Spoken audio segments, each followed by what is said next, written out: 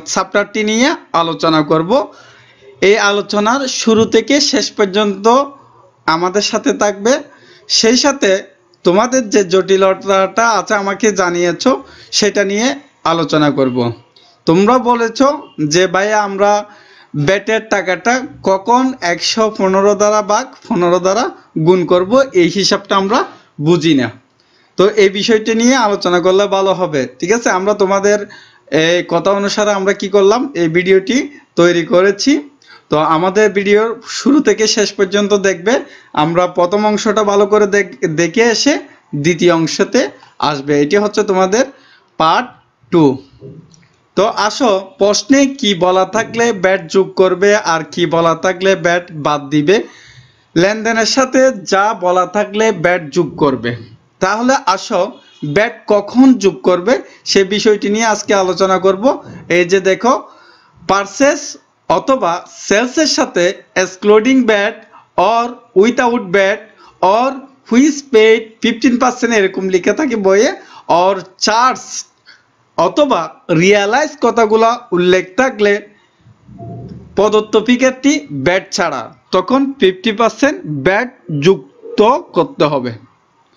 কি বলছি? Excluding VAT without VAT which paid charge realised এই কথাগুলা উল্লেখ থাকলে তখন ব্যাট যোগ করবে। তাহলে আমরা উদাহরণের সহিত একটি জিনিস দেখাই পার্সেসের ক্ষেত্রে কীভাবে ব্যাট যোগ করবে। পার্সেস ফর ক্যাশ টাকা ninety thousand for which paid VAT fifteen percent তো জাবেদাতে কি হবে? যখন পারচেস করবা, তখন আগেই বলেছি purchase debit input VAT debit তোমার হচ্ছে ক্যাশ ক্রেডিট এই যে পারচেস যখন কি হবে? ডেবিট কত টাকা? নব্বই হাজার টাকা। তাহলে নব্বই হাজার টাকা বসাবা এখানে। এর মধ্যে হচ্ছে কি? ফিফটিন পার্সেন্ট ব্যাট কি করবা? তার সাথে যোগ করবা। ইনপুট ব্যাট ডেবিট যেহেতু ডেবিট ডেবিট কি হবে তোমার?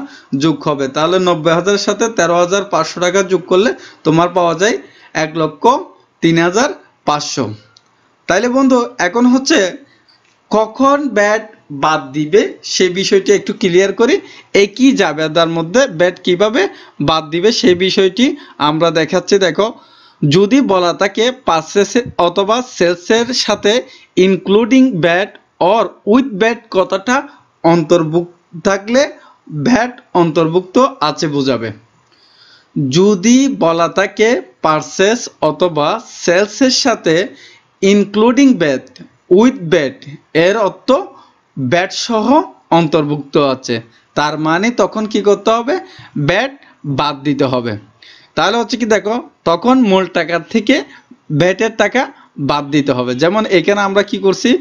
মূল টাকার সাথে ব্যাটের টাকাটা যোগ করছি। এখন কি করতে হবে? মূল টাকা থেকেই ব্যাটের থাকাটা বাদ দিতে হবে। তাহলে একটু খেয়াল করো। এই যে এখানে দেখো, কি লিখা থাকলে করবা? পারচেস অথবা সেলসের সাথে ইনক্লুডিং ব্যাট অথবা উইথ ব্যাট থাকলে একশো পনেরো দ্বারা বাগ দিবা। পনেরো দ্বারা কি করবা? গুণ করবা। তাহলে একটু এখানে দেখো, আমাদের এখানে নব্বই হাজার ছিল। তো আমাদের ব্যাটের টাকাটা আগে বের করে ফেলব। কত আসছে? এগারো হাজার সাতশো উনচল্লিশ টাকা। নব্বই হাজার থেকে কি করে দিছি আমরা? বাদ দিয়ে দিছি। তার মানে বোঝাচ্ছে জাবেদা দুইটা দুই রকম। তো ইনক্লুডিং অর উইথ ব্যাট থাকলে তোমরা হচ্ছে কি ব্যাটের টাকাটা বাদ দিবে। তো আমরা একটা আসো ইউনিভার্সিটি কোয়েশ্চেন করে আর একটু ক্লিয়ার ধারণা পাওয়ার জন্য।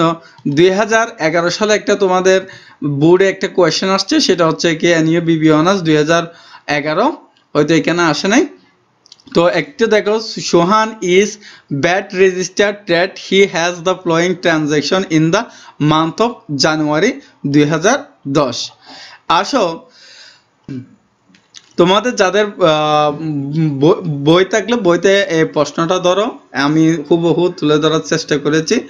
তো প্রথমে আসো যে, এক তারিখে লেনদেনটা আসছে কি? Opening VAT current account for টাকা হচ্ছে কত? এক লক্ষ পঞ্চাশ হাজার টাকা। তো এটার জন্য কি হবে বলছিলাম প্রথম ভিডিওতে, ব্যাট কারেন্ট অ্যাকাউন্ট ডেবিট, তোমার হচ্ছে ক্যাশ অথবা ব্যাংক হচ্ছে ক্রেডিট। এরপরে দ্বিতীয় জার্নালটা আসছে বুড়ে, পারচেস ফর ক্যাশ আঠারো হাজার এক লক্ষ আশি হাজার টাকা ফর হুইচ পেড ব্যাট হচ্ছে ফিফটিন পার্সেন্ট দ্যাট মিনস এখানে বোঝাচ্ছে ব্যাট কি হবে? যোগ হবে। কোন টাকাটার সাথে? এক লক্ষ আশি হাজার টাকার সাথে। তাহলে দেখো পার্সেস ডেবিট তারপরে হচ্ছে কত? এক লক্ষ আশি হাজার টাকার সাথে এক লক্ষ আশি হাজারের ফিফটি পার্সেন্ট হচ্ছে কত? সাতাশ হাজার টাকা। তার মানে এক লক্ষ আশি হাজারের সাথে কি হলো? ব্যাটটি যুক্ত হয়ে দুই লাখ সাত হাজার টাকা হলো। এখন আশা করি বুঝবে যে হচ্ছে কি কখন ব্যাট যোগ করবে আর কখন ব্যাট বাদ দিবে। এরপরে হচ্ছে কি দেখো sold for cash two lakh for which received VAT fifteen percent জাবেদা হবে ক্যাশ ডেবিট সেলস ক্রেডিট তারপরে আউটপুট বেট ক্রেডিট তো আউটপুট বেটে তোমার ফিফটিন পার্সেন্ট করলে হয় তিরিশ হাজার টাকা। তার মানে হচ্ছে সেলস ছিল কত? দুই লক্ষ টাকা। দুই লক্ষ যোগ করলে তোমার ক্যাশ পাওয়া যাবে হচ্ছে কত? দুই লক্ষ তিরিশ হাজার টাকা। তার মানে আমরা বুঝতে পারলাম যে এখানে হুইস রিসিভ টাকাতে ব্যাটটি যুক্ত হয়েছে বা অর্থাৎ যোগ হয়েছে। তো আমরা দ্বিতীয় অংশের মধ্যে দেখো যে চার নাম্বার যাবে the purchase on account with fifteen percent VAT for হচ্ছে কত? দুই লক্ষ পঞ্চাশ হাজার টাকা। তো এখানে দেখো আমাদের জাবেদাটা কি? পারচেস ডেবিট ইনপুট ব্যাট তার মানে উইথ ব্যাট আছে, তখন কি করবা? এই উইথ ব্যাটের জন্য হচ্ছে কি একশো পনেরো দ্বারা ভাগ করবা, পনেরো দ্বারা গুণ করবা। এখন হচ্ছে কি আমাদের অ্যামাউন্ট কত ছিল? দুই লক্ষ পঞ্চাশ হাজার টাকা। প্রথমে হচ্ছে দুই লক্ষ পঞ্চাশ হাজার টাকার ব্যাট বত্রিশ হাজার তিনশো নয় টাকা বের করবা। এই দুই লক্ষ পঞ্চাশ হাজার থেকে সেটা বাদ দিলে হয় দুই লক্ষ সতেরো হাজার তিনশো একানব্বই টাকা। তাহলে অ্যাকাউন্ট পেবল পাওনাদারকে পরিশোধ করতে হবে কত টাকা? দুই লক্ষ পঞ্চাশ হাজার টাকা। তারপরে পাঁচ নম্বর জাবেদাটা দেখি। ওখানে কি বলছে দেখি sold on account with fifteen percent VAT for হচ্ছে কত? চার লাখ। তার মানে এখানেও ব্যাট অন্তর্ভুক্ত আছে, তাহলে ব্যাটটাকে আলাদা করে বি করতে হবে। মানে অর্থাৎ তোমার হচ্ছে কি চার লক্ষ টাকা থেকে ব্যাটের টাকাটা বের করে বি করে বের করব। তাহলে কীভাবে হয় দেখো? Account receivable debit sales credit তারপর আউটপুট ব্যাট ক্রেডিট তার মানে আউটপুট ব্যাট কত? বের করলাম একশো পনেরো দ্বারা বাঘ পনেরো দ্বারা গুণ। কিসের জন্য? এইখানে কি আছে তোমার? ফিফটিন পার্সেন্ট আছে। উইথ ফিফটিন পার্সেন্ট আছে। তার মানে হচ্ছে ব্যাটটি কি যাবে? বাদ যাবে। তো তো ব্যাট যদি আমরা বের করি কত বের হয়? বায়ান্ন হাজার একশো চুয়াত্তর টাকা। এরপর হচ্ছে এটা বাদ দিলে হচ্ছে কত? তিন লক্ষ সাতচল্লিশ হাজার। হচ্ছে কত? আটশো ছাব্বিশ টাকা। তো অ্যাকাউন্ট রিসিভাবল দেনাদারকে হচ্ছে কি দিতে হবে কত? চার লক্ষ টাকা। তো ছয় নম্বর জাবেদা কি হচ্ছে দেখো? VAT deposit to government to treasury for হচ্ছে ছয় লক্ষ টাকা। তাহলে আমরা যদি কোনো টাকা জমা দিই আমার কি চলে যাবে? ক্যাশ টাকা চলে যাবে। তাহলে হচ্ছে কি ক্যাশ ক্রেডিট আর হচ্ছে কি ব্যাড কারেন্ট অ্যাকাউন্ট ডেবিট সাত নাম্বার জাবেদা দেখো যে পারচেস মেশিন ফর হচ্ছে কত? সিক্স লাখ ফর হুইস পেড ব্যাট হচ্ছে ফিফটিন পার্সেন্ট তখন আমাদের কি করতে হবে? হুইস পেড যদি বলা থাকে, এখানে ব্যাটের টাকাটা যোগ করতে হবে। মানে এখানে ইনপুট বোর্ড দেখাতে হবে না ডাইরেক্ট সরাসরি ব্যাট ব্যাট কেন হচ্ছে কি নেওয়ার সাথে সাথে দিয়ে ফেলতে হয়। এই জন্য স্থায়ী সম্পদের ক্ষেত্রে ডাইরেক্ট সরাসরি কি করে দিবে? যোগ করে দিবে।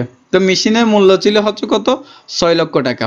এখন আমাদেরকে ফিফটিন পার্সেন্ট ব্যাট বের করে এটার সাথে কি করে দিব? ছয় লক্ষর সাথে যোগ করে দিব। তাহলে জাবেদাটা কি হবে?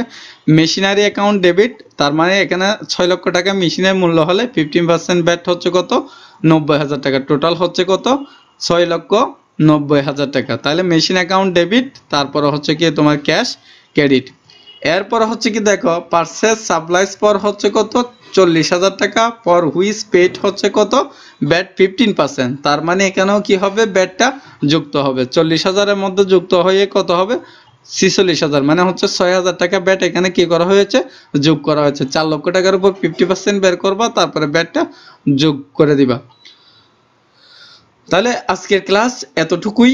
তোমরা আমাদের নিয়মিত এই ক্লাসগুলো পাওয়ার জন্য আমাদের চ্যানেলে সাবস্ক্রাইব করে রাখো এবং বেল আইকনে ক্লিক করো, যাতে পরবর্তী ভিডিও দেওয়া মাত্র তোমার তোমার নোটিফিকেশনে যাতে চলে যায়।